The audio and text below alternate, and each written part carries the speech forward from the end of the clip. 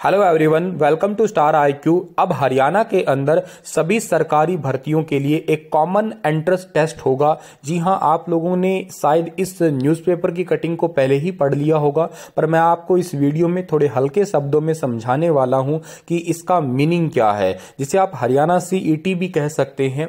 देखिएगा दोस्तों, इसमें मेन दो बात है। आप सभी को पता होगा कि हरियाणा के अंदर मेनली दो डिपार्टमेंट है, जिनके अंडर कुछ एग्ज़ाम होते हैं। हरियाणा की group A group B, group C, group D post के। फॉर एग्ज़ाम्पल एक तो एचएसएससी जिसे आप बहुत अच्छे से जानते हैं, हरियाणा स्टाफ सिलेक्शन कमीशन और एक है एच यानी कि Haryana public service commission Haryana लोक सेवा आयोग।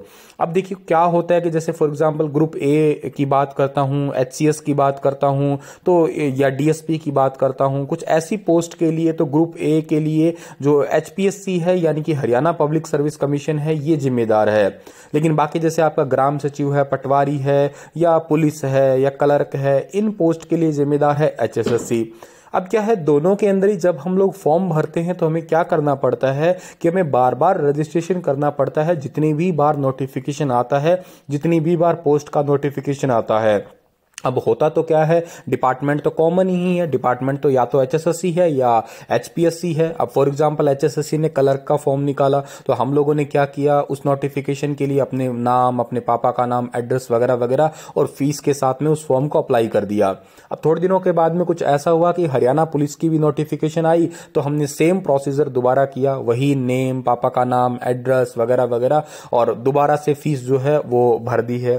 तीसरी बार फिर से कोई फॉर्म आता है। मान लेते हैं इस बार पंचायत सेक्रेटरी का फॉर्म आ जाता है। फिर से यही प्रोसीजर हुआ। तो इसका मतलब क्या हुआ? इसमें तो हमें हर बार जो है वो चलान कटवाना पड़ रहा है। मतलब क्या है? पैसे देने पड़ रहे हैं। हर बार हमें अपनी पर्सनल इंफॉर्मेशन भी देनी पड़ रही है।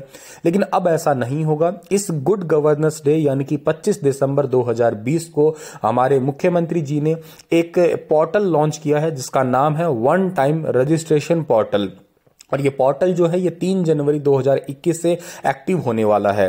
इसका मतलब है कि अब आपको एक ही बार जो है रजिस्ट्रेशन करना होगा और अब आपको मल्टीपल टाइम अपनी पर्सनल इंफॉर्मेशन नहीं देनी पड़ेगी और सबसे अच्छी बात, आपको बार बार फ़ीस भी पे नहीं करनी पड़ेगी।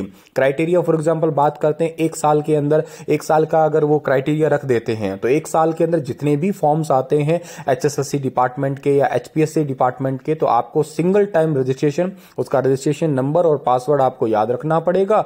और वो उसी आपका पासवर्ड और आईडी से जो है, आने वाले जितने भी फॉर्म होंगे, उनको आप लोग जो है अप्लाई कर सकेंगे और आपको बार बार जो है फ़ीस नहीं पे करनी पड़ेगी। ये तो है एक नंबर बात।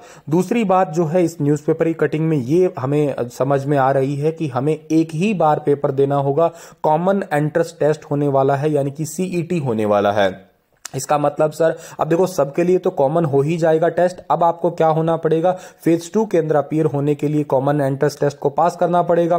फ़ेज़ टू डिपार्टमेंट की तरफ़ से लिया जाएगा। फॉर एग्जांपल अब सिविल इंजीनियरिंग है तो सिविल इंजीनियरिंग का डिपार्टमेंट वो कैसे करता है कि स्किल टेस्ट लेता है या रिटर्न टेस्ट लेता है मॉक टेस्ट है इंटरव्यू है वट वो डिपार्टमेंट की मर्ज़ी होगी। लेकिन सीईटी e सबके लिए कॉमन होगा वो। इसकी कुछ टाइम के लिए वैलिडिटी होगी और तब तक जो है आप लोग रिगार्डिंग जितने भी नोटिफिकेशन आती हैं, उनके अंदर अंदर अप्लाई हो सकते हैं, जा सकते हैं या जॉब कर सकते हैं।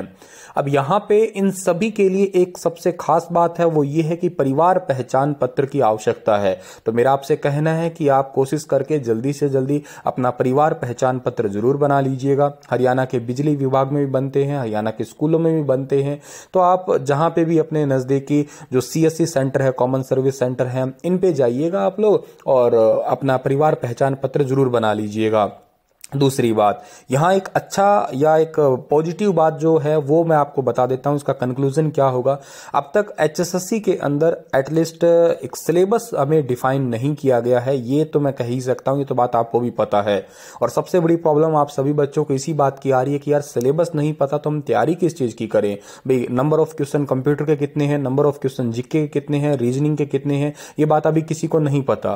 तो प्रॉब्लम यही आती है किस लेवल का आता है, ये भी नहीं पता है क्या क्या पॉइंट्स हमें पढ़ने हैं। तो अगर सीईटी e हो रहा है तो कंफर्म सी बात ये भी हो ही जाएगी कि ये पहले से सिलेबस भी तो डिफाइन करेंगे। तो ये एक यहाँ पे पॉजिटिव बात है, थोड़ा पढ़ना आसान हो जाएगा और आप लोग एक यूँ कहिएगा ना टारगेटेड होकर पढ़ाई करेंगे तो हो सकता है आपका सिलेबस जल्दी पूरा हो और सिलेबस के साथ साथ आपका सिलेक्शन भी बहुत जल्दी आप लोग पा ले।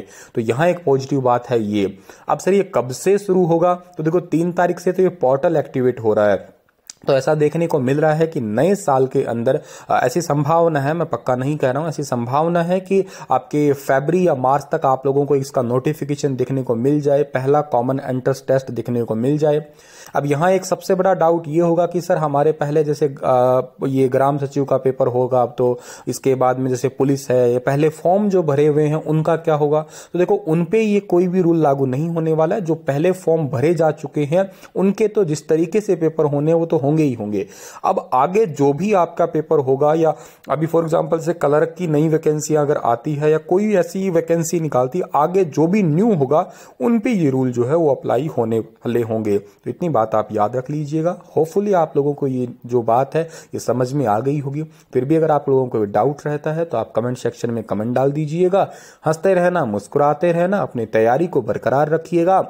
नया साल आ ही रहा है तो नए साल में थोड़े और मुस्कुराइएगा और उम्मीद है कि आप लोग अपनी सरकारी नौकरी को जो है वो पा ही लेंगे। उम्मीद तो यही मेरी भी है और उम्मीद आपकी भी यही है। मेहनत अपनी जो है वो बरकरार रखिएगा। चलिएगा इसी शुभकामनाओं के साथ में अलविदा लेता हूँ। Star I Q YouTube channel को सब्सक्राइब ज़रूर कर लीजिएगा। धन्यवाद।